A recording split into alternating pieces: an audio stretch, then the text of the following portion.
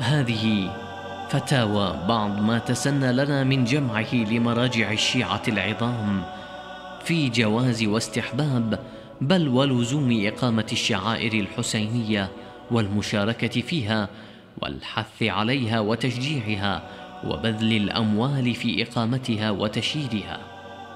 ولا غرو فإنهم قد استنبطوا ذلك من كتاب الله ومن سنة رسول الله صلى الله عليه وآله وسيرة أهل بيته من الأئمة المعصومين عليهم السلام وكان يحق لهم بل يجب عليهم أن ينتهجوا نهج نبيهم وأئمتهم ويسيروا على هديهم فإنهم الامتداد الشرعي لهم كما أن الأئمة المعصومين عليهم السلام الامتداد الشرعي للنبي صلى الله عليه وآله وسلم وهم الحجة من الله علينا في زماننا وعصرنا هذا عصر الغيبة وزمان افتقاد الإمام المنتظر الحجة بن الحسن المهدي عليه السلام حيث قال في حقهم إنهم حجتي عليكم وأنا حجة الله.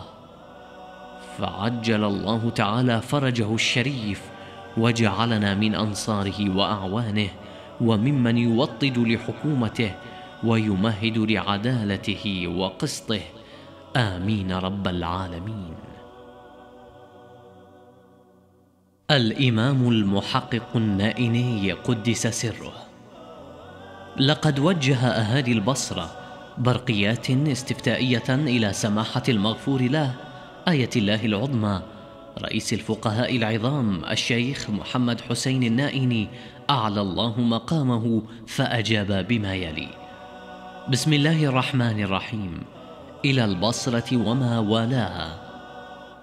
بعد السلام على إخواننا الأماجد العظام أهالي القطر البصري ورحمة الله وبركاته. فقد تواردت علينا في الكرادة الشرقية برقياتكم وكتبكم.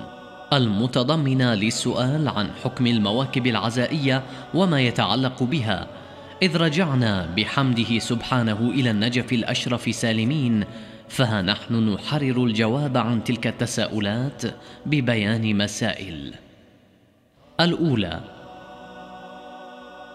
خروج المواكب العزائية في عشرة عاشوراء ونحوها إلى الطرق والشوارع مما لا شبهة في جوازه ورجحانه وكونه من أظهر مصادق ما يقام به عزاء المظلوم. وأيسر الوسائل لتبليغ الدعوة الحسينية إلى كل قريب وبعيد. لكن اللازم تنزيه هذا الشعار العظيم عما لا يليق بعبادة مثله من غناء أو استعمال آلات اللهو والتدافع في التقدم والتأخر بين أهل محلتين ونحو ذلك. ولو اتفق شيء من ذلك فذلك الحرام الواقع في البين هو المحرم.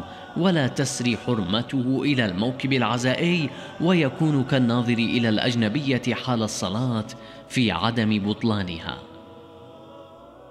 الثانية لا إشكال في جواز اللطم بالأيدي على الخدود والصدور حد الإحمرار والإسوداد.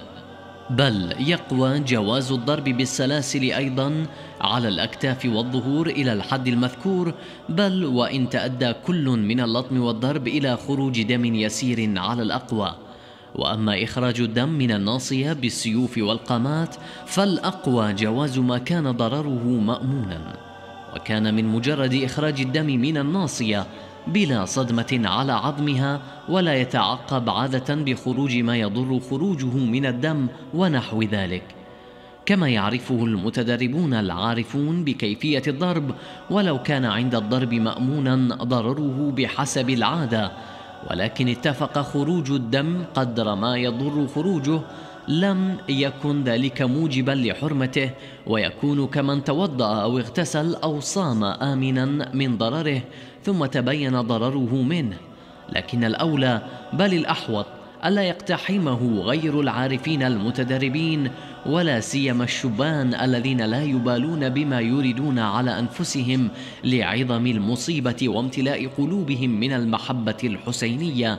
ثبتهم الله تعالى بالقول الثابت في الحياة الدنيا وفي الآخرة. الثالثة الظاهر عدم الإشكال في جواز التشبيهات والتمثيلات التي جرت عادة الشيعة الإمامية باتخاذها لإقامة العزاء والبكاء والإبكاء منذ قرون.